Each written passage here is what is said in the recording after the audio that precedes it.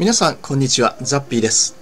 えー、今回はですねあのクイーンの、えー、ブライアン・メイギタリストですね。素晴らしいギタリストだと僕は思ってるんですけれども、えー、彼がビートルズについて語ってることがあるんですね。え、とてもあの僕としてはいいコメントを出してくれてると思ってるんですけれども、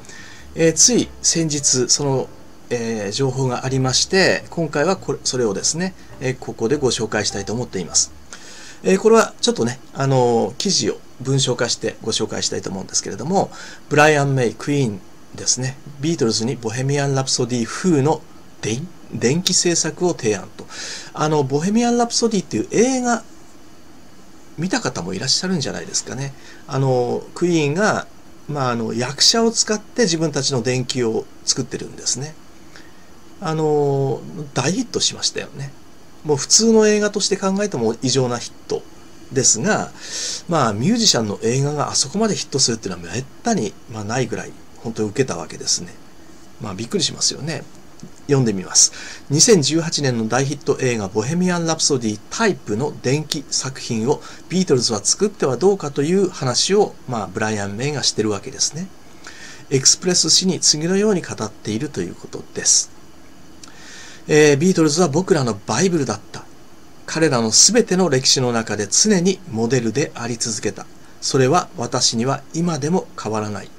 彼らの全てのアルバムを愛している。彼らは私にとって最も偉大な存在だったし、今もそうだ。作曲やパフォーマンスで常に頂点だったし、ロックミュージックの神聖な心だった。彼らは社会のバリアを外してくれた。何度も世界を変えた。一切の条件をつけずに言いたいが、私は彼らをこれからずっと敬愛し続けるだろう。ビートルズは最近では表に出ることが少なく感じる。彼らはもっと子供たちにも知られるべき存在だけれど、それは十分ではない。クイーンの音楽が現代でも親しまれているように、ビートルズの音楽はもっと人々の生活の中に組み込まれていくべきなんだ。というふうに語ってるわけですね。で、さらにですね、ブライアン・メイは1992年にジョージ・ハリスンとチャリティーイベントで共演したことを思い出して、ジョージを素晴らしさが十分評価されていないと語っているようですね。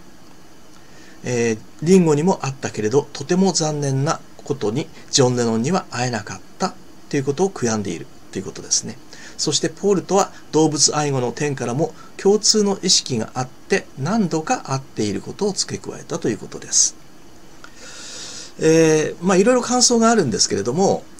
まずそうですね、嬉しいコメントです僕は。えここまでビートルズをね、あのファンのように、僕らと同じようにファンのようなコメントを出してくれてるということがとても嬉しいですよね。こういう偉大なね、ギタリストで偉大なミュージシャンである人がですね。うん、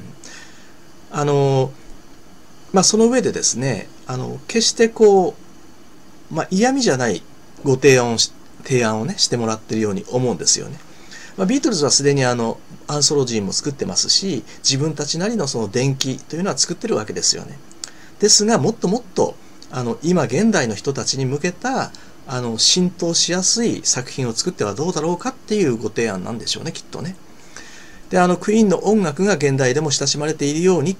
まあ、これは別に嫌味で言ってるわけじゃないと思うんですね。確かにクイーンの音楽は、もうイギリスでは特に、あの、老若男女、本当に浸透してますからね。下手したらビートルズよりも、あの、広く浸透してる曲だってあると思います。まあ、そういうこともあって、自分たち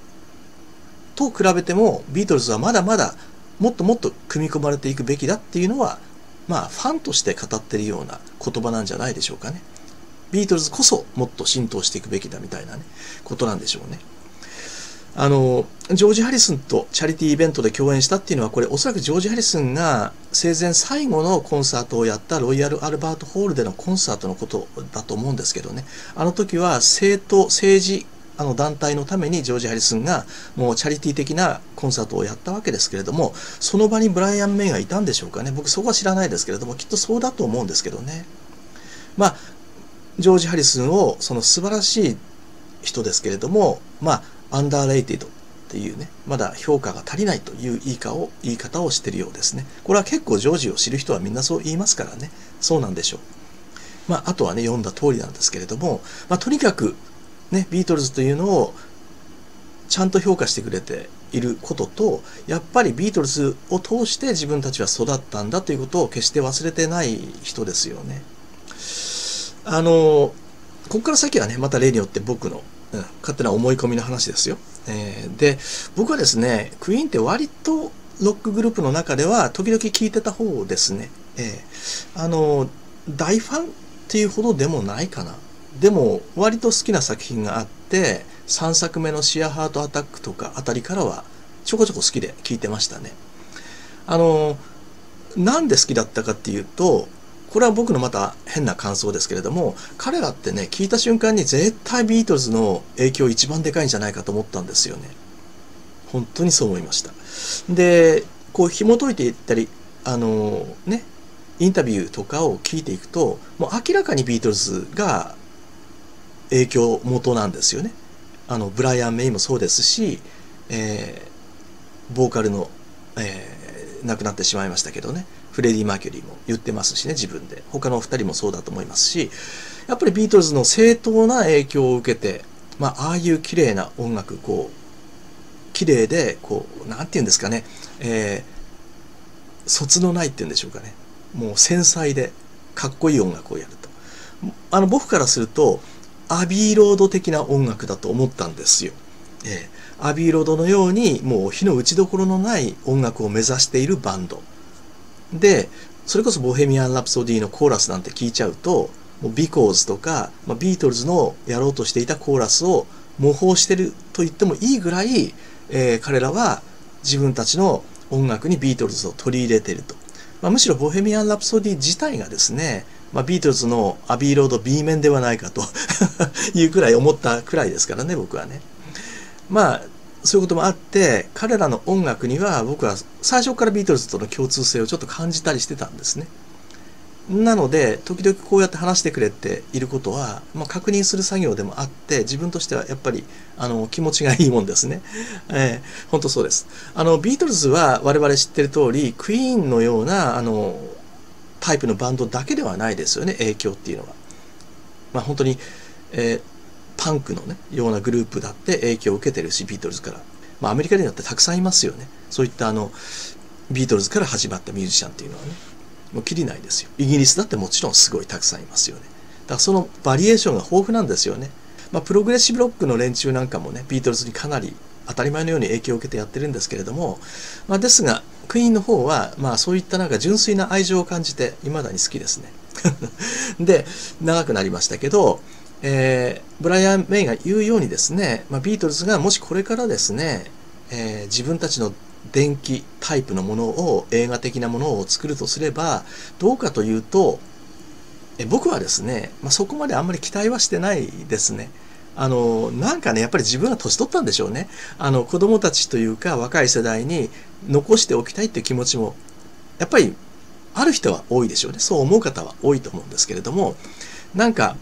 自分としてはですねあの音楽そのものはあるわけですよねそこにね。あのブライアン・メイが言ってるように全てのアルバムはそこにあってみんな我々は好きでいられるわけですね。でその音楽さえあればあのビジュアルに訴えてねああいったものを作らなくてもあのビートルズは間違いなく残っていくんじゃないかなと思ったりしますね。こんなことも考えたりしました、えー、ブライアン・メイの言葉にですねまあ、いろいろと考えさせられることがあったので、今日は取り上げてみました。失礼します。